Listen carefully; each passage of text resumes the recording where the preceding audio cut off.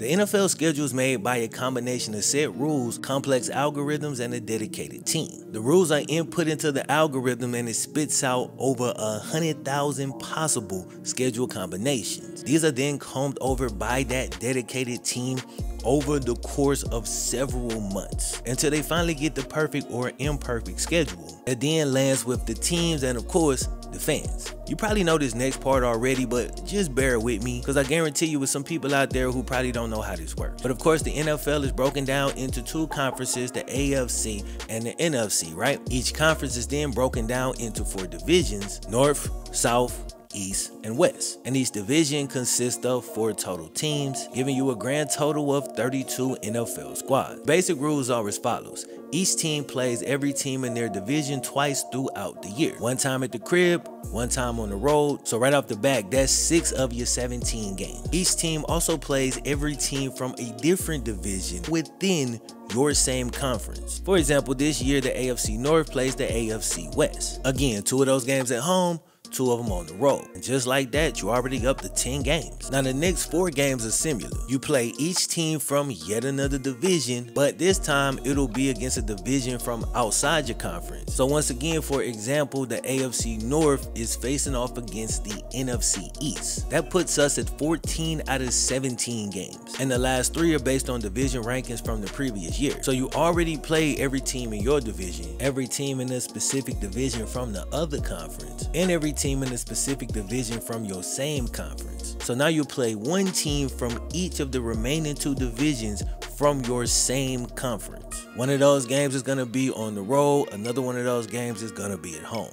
Then that last game is against an opponent from the opposing conference that's not already on your schedule. Now, up until that last game, everything from home and away has been perfectly balanced. And before we had 17 games, you had eight home games and eight away games. Back when everything just made sense. But now they try to keep it balanced by alternating every year. So last year the AFC had nine home games. And this year the NFC will have nine games at home. According to AWS, since you got 32 teams playing 272 games across 18 weeks, each individual team actually has 1 billion, billion. schedule options.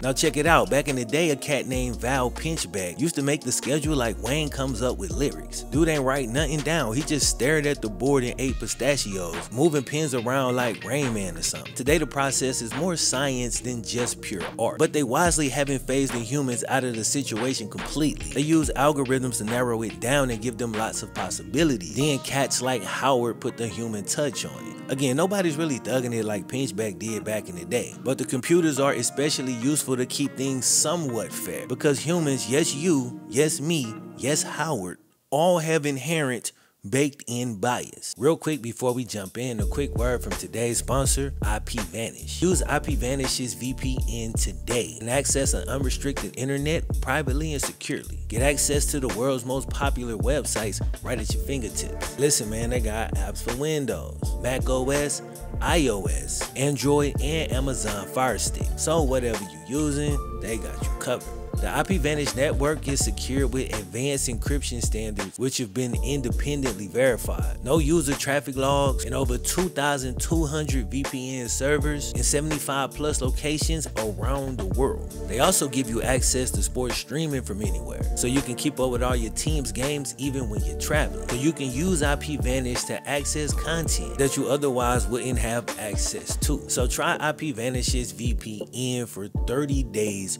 completely risk free and save on the yearly plan by going to ipvanish.com slash flemlo. That's ipvanish.com slash flemlo. And also of course the links down in the description. Shout out to ipvanish once again for sponsoring the video. Without further ado it's time to jump back in. Now, some people can be a lot more biased than others, but bias exists within each and every one of us. And Howard, in some cases, uses his gut to determine certain primetime games, and he asks himself a question does this feel like a big football game? I think questions like this are generation dependent to some extent. It feels like the question that stuck us with Bears versus Packers in prime time every single year, even when the Bears had no quarterback. It feels like a little old school bias kind of bleeding into the process. And I swear this better not be the year they decide not to go that route. But at the same time, I'm sure them games bang in certain parts of the country, so no disrespect to Howard. It's never gonna be perfect, but at the end of the day, I think it's really damn smart to pair the human element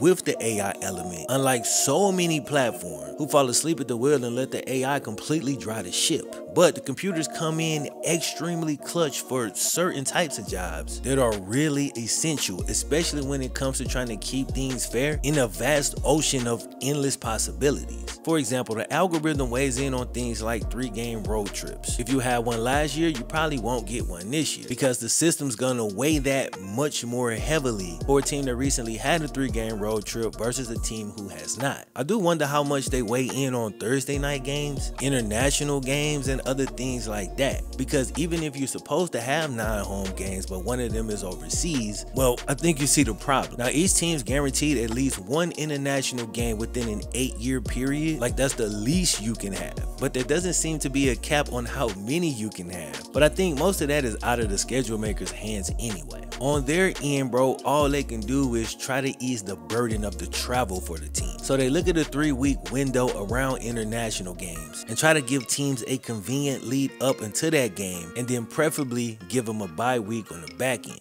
The last major factor is making sure that all the networks are happy. CBS, NBC, Fox, Amazon, hell, Peacock got games. Netflix even threw their hat into the ring as they just signed a three-year deal for the Christmas games. The schedule makers have to balance it in a way that every network feel like they get in their money's worth. And if you're thinking about where the money's coming from, they're probably really damn high on the priority list, like maybe at the top. So basically, it's an extremely complex situation when you're trying to meticulously schedule all the episodes of America's favorite TV program. And that's without me even really getting into the primetime games or the flex scheduling. But if you want to know more about that process, watch this video right here and I'll see y'all over there.